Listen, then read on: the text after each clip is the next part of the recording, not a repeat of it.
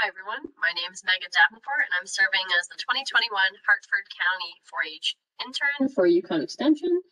We're going to quickly go over how to fill out this online entry form for the Hartford County 4-H Fair this year. Due to COVID and for convenience, we made this online and easily accessible on your computer or your mobile device instead of having to fill out paper forms and mailing them in. So really quick, um, this program is Qualtrics and it's very easy to use and very user friendly. So on the left right here is what the display will look like if you fill out the form on a computer like I'm doing right now. And then on the right, it'll also show you what it'll look like on a mobile device. I'm in the editing mode, which is why I can see both, but when you fill it out, you only see whatever one is appropriate for whatever device you're filling the form out on. So this is just for demonstration purposes, just to see the format in both or both devices. Okay, first off, disclaimer on time submission deadline. The deadline is August 1st, which is a Sunday, 2021. There are no premiums for late entries and advanced entries are mandatory. So make sure you get them in on time. Um, August 1st is still about a month away, so make sure you get it in on time. Then we're going to go down to the general information for the exhibitor. As a UConn Husky, I thought it'd be appropriate to fill in the information based off of Jonathan the Husky, our mascot. So for you guys, you'll put down name of exhibitor, your full name. Don't worry about last name comma first, like some programs might require, just do your full name. Then your mailing address, the city or town you live in, your state, which will be most likely Connecticut, and you can just abbreviate that to CT. Then your zip code, and then your phone number. Please follow the appropriate format of the X's over here, or like I displayed here. Then you'll do a email right here, and then your birthday, again, fill out based off the appropriate format over here, please, just like this one. And your club name, if you have multiple, you can make sure to put all of them down, but you can separate them with a comma or just and, just make sure you put them all down. And then you'll put down the town or multiple towns that your animals are kept at right here. Okay, then moving on, we're going to pick whatever species or projects you're entering into the Hartford County Fair Chair. So you're going to enter all of your projects that are um, applicable to each exhibitor through this one program. So you're going to click multiple of these if that applies, or just one. Make sure you click all of them that apply if you have multiple. So for instance, we're just going to do dairy, we'll do dog since Husky, Jonathan the Husky is a dog. And then we'll do poultry because that one's a little tough um, and we'll go over that. And then it asks you a question about general knowledge contest. So if you're entering into any of these, click all that apply. If not, just click none of the above. So we'll do none of the above for now. And we'll move on. Okay, so dairy, it'll ask your showmanship class. So you'll click whatever one, whatever one is appropriate. Then your identification number for the dairy animal. It's used for showmanship class. All the other species besides dairy don't ask for an identi identification number, um, just for dairy. So just make a note of that. And then for your first animal you're entering, put in the animal identification, whether that's an ear tag or a tattoo number, etc. You put down the breed and then the birthday, again reflecting the appropriate format displayed right here and the same format they use for your own birthday when you put it in. And then you'll go down to what classes you'll be entering with that dairy animal. So click all that apply. That's really only if you have, say, winter heifer calf, um, and then you have a dam and daughter because you have multiple cows and one of them is um, this animal's mom, or if you're doing bred and etc. But make sure to only click one of these ones because obviously you can't have the same heifer doing winter heifer class and then a spring yearling class. And then you'll click all that apply there. And then to add another animal, you'll click yes, and you'll put in animal number two, and then animal number three's information, etc. If you only have one, click no. Don't skip this question. Make sure to answer yes or no, simply because if you skip it and don't answer it, it'll keep asking it until you click yes or no. So we'll do yes just for just to see what it looks like. And it'll be the same type of format. So click all that apply, and then we'll do answers no. And then total number of dairy animals, we did two.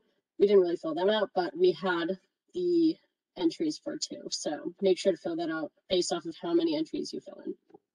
Then moving on to the next species, we have dog. You click the showmanship class you're doing. I'm just putting random ones just for demonstration purposes.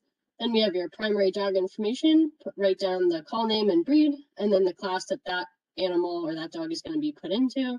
So if you want unleashed division, and then add another animal, yes or no, we'll do no because we already went over that.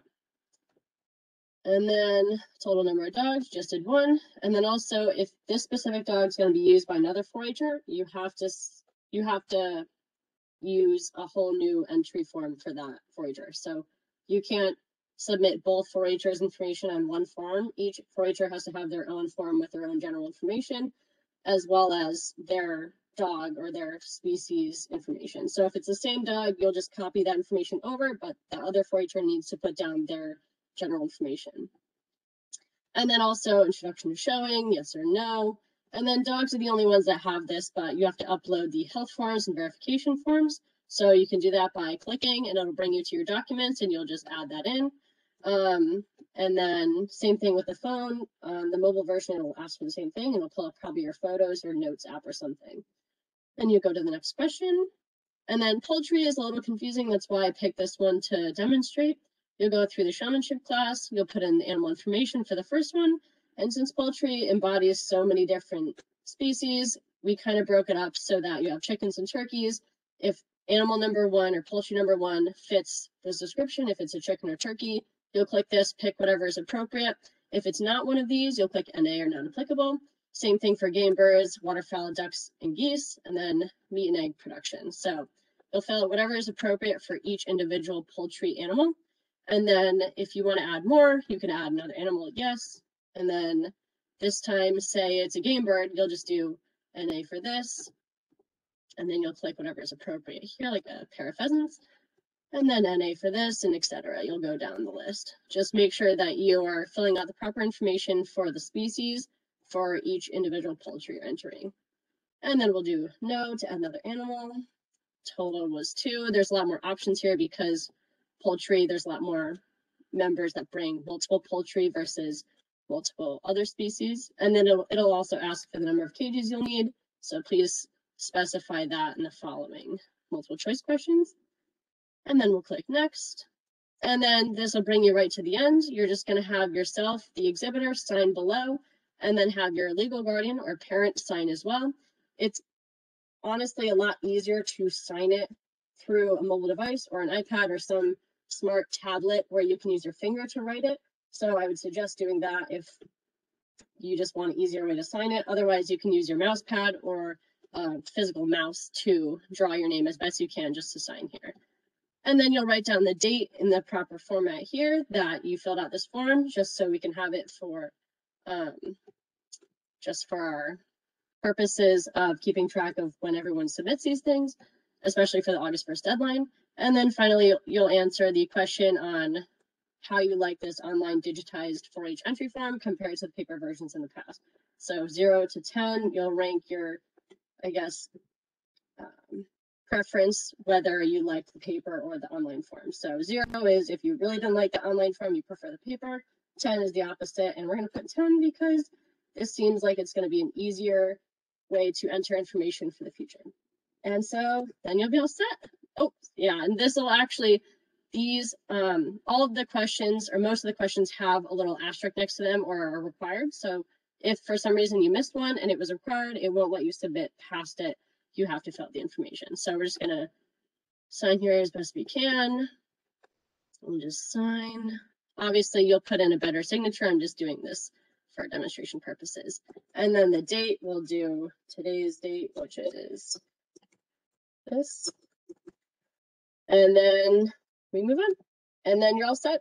Everything will be sent and your response is recorded and you'll be all set. So if you have any questions, you can always refer to your club leaders, your fellow 4-Hers, or any of the extension educator employees. They all should know um, and can direct you from there and answer any of your questions. Besides that, you'll be all set and have a great fair. We'll see you in August.